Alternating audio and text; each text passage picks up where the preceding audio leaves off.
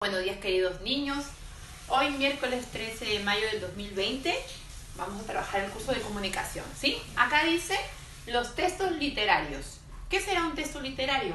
Dice, los textos literarios mayormente son productos de la imaginación del autor. A ver, texto es una lectura, una fábula, ¿sí? Eh, un escrito que te viene en, eh, en tu libro, ¿sí? Un cuento, ese es un texto.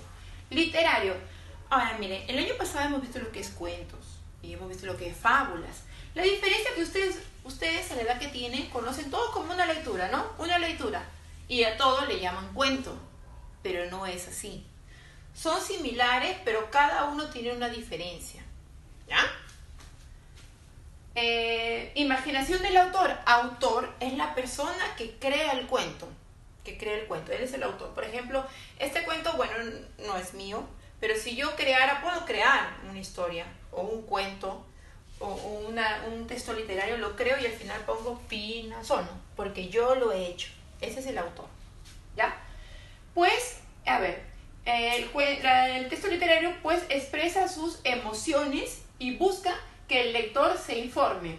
Claro, el, el, en el cuento literario el autor eh, o, o un cuento, en una fábula, lo que quiere es, eh, eh, mayormente expresa sus emociones. Emociones quiere decir, si estoy triste, puedo hacer un, un texto triste,